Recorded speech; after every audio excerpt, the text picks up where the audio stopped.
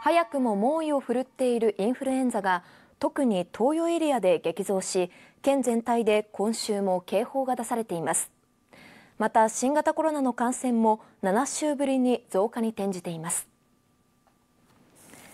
県の発表によりますと県全体のインフルエンザの新たな感染者は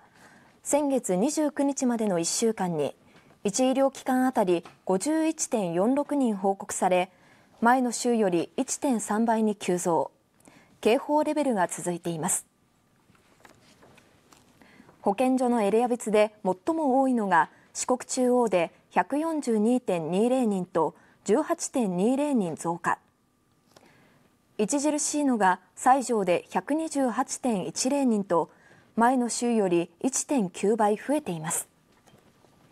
年齢別では0歳から14歳までが7割を占め幼稚園や学校などの集団生活を通じた感染の拡大が懸念されています。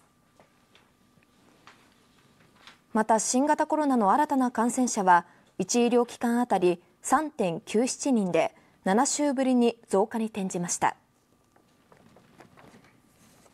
県は冬場にかけて感染が広がる恐れがあるとして注意を呼びかけています。